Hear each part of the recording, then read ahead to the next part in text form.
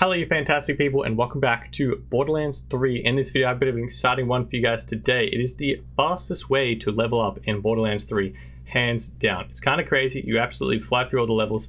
You can get from level 1 to 53 or 1 to 57 if you didn't already know there's a level cap coming out tonight.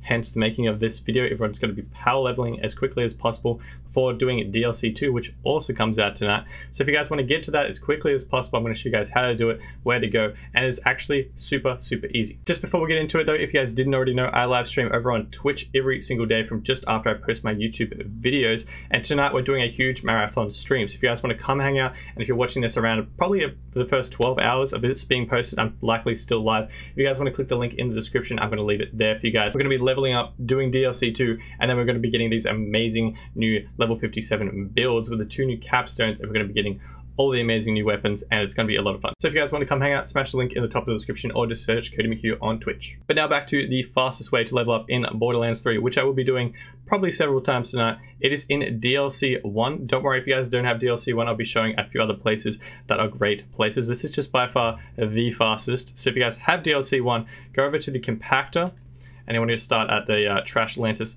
fast travel station, you're going to be farming Scrap Scraptrap. He's an absolute machine for XP. It's kind of crazy. He does stuff or damage as well.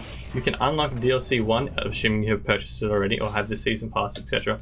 You can actually come to this area, uh, probably about halfway through the DLC, so it doesn't actually take too long. You can start the DLC from level 1, by the way, so this is actually viable to do from the very start of a character. You can also boost other characters via split screen or your friends or whichever situation you want to go. The New-U station is just back there, by the way, but I'll show you actually why that's not at all necessary. It's one of the main reasons why this farm is the best farm for getting XP in this game. If we jump down, as you guys can see, this boss fight actually consists of a bunch of regular size scrap traps fighting you. They're basically junkyard scrap traps, but they drop so much XP. For example, one of these guys just gave us 1,300 Guardian rank XP. So you can boost your Guardian rank XP even more if you do need that still, but tonight when your XP unlocks and gives us an extra 4 levels, it will give us over 1000 XP per scrap trap kill, which is kind of ridiculous. And the best thing is, there's tons of them, and they spawn on repeat.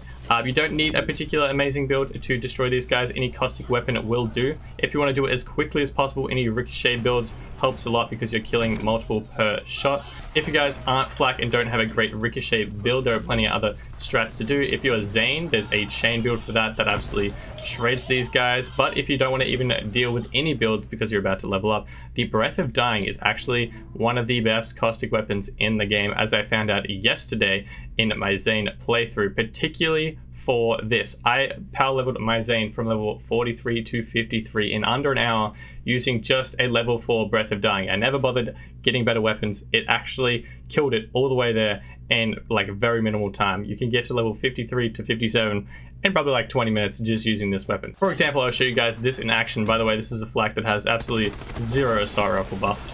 But as you guys can see, it has a cool effect once you've killed somebody, uh, using the weapon of course. It shoots out caustic like bubbles or whatever in every direction. And because there's so many scrap traps in every direction, each one explodes and kills more and more scrap traps. And if you're looking at my XP at the bottom there, it's absolutely flying.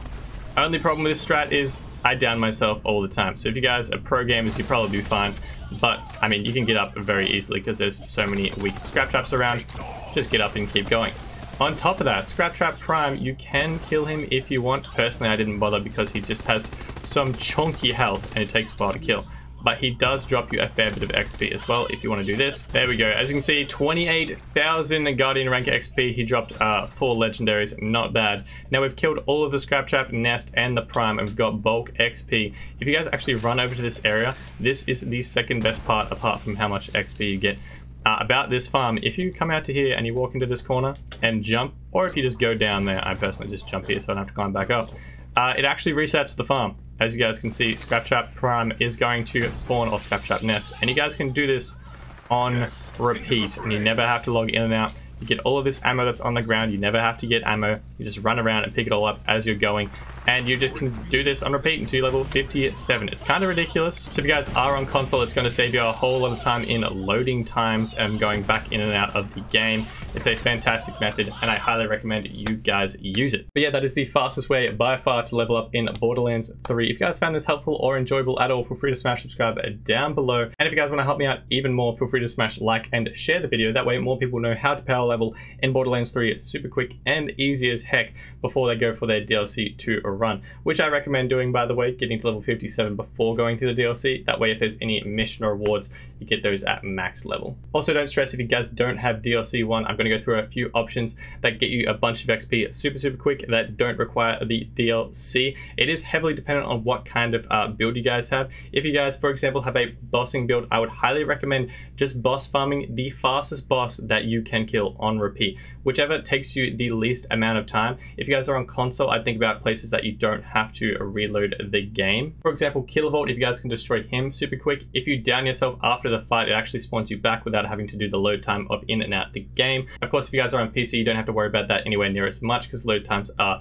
less than half of the time it is for console. So you guys can just farm whoever is fastest for you to kill and that will get you a whole bunch of XP.